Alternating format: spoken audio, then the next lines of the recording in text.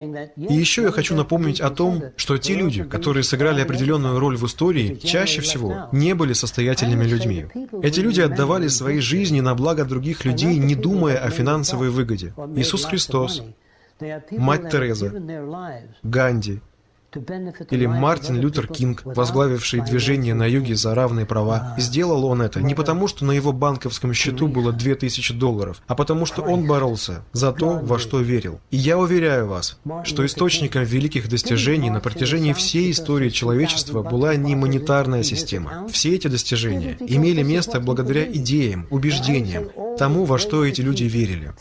Те, кто выступал за открытие публичных библиотек, не думали о прибыли, а думали о тех, кто не может позволить себе платное образование.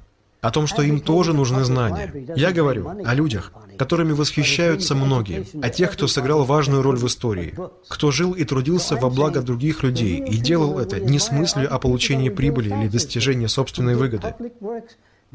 Я опасаюсь людей, которые все делают исключительно за деньги. Меня это очень тревожит.